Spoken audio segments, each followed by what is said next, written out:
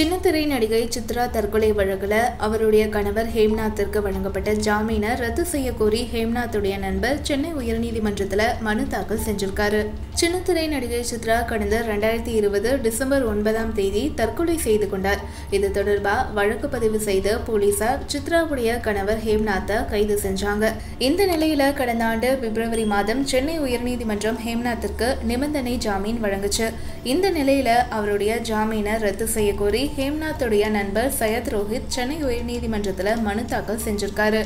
அதுல என்ன சொல்லியிருக்காரு அப்படின்னா ஹேம்நாத் என்னுடைய நீண்ட கால நண்பர். அவர் மூலம் சித்ராவை எனக்கு ரொம்ப நல்லாவே தெரியும். சித்ராவிற்கு ஹேம்நாத் அளித்த தொல்லைகள் பற்றி காவல்துறை விசாரணையின் போது சாட்சியம் கொடுத்திருக்கேன்.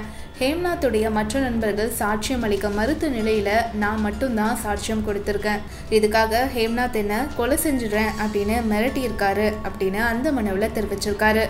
இது மட்டும் இல்லாமல் ஹேம்நாத்தால தன்னுடைய குடும்பத்துக்கும் ஆபத்து ஏற்பட்டிருக்கு அப்படின்னு ஹேம்நாத் தன்னுடைய பணம் மற்றும் அடியாட்களுடைய பலத்துடன் சாட்சிகளை மிரட்டிட்டு வராரு. அவரை வெளியே சுதந்திரமா நடமாட விட்டா சாட்சிகளை கலைப்பார் அப்படின்னு அந்த மனுவில் குறிப்பிட்டிருக்காரு. இது மட்டும் இல்லாமல் உயர்நீதிமன்ற ஜாமீன் நிபந்தனைகளை மீறி ஹேம்நாத் செயல்பட்டு வருவதால அவருடைய ஜாமீனை ரத்து செய்யணும் அப்படின்னு மனுவில் குறிப்பிட்டிருக்காரு.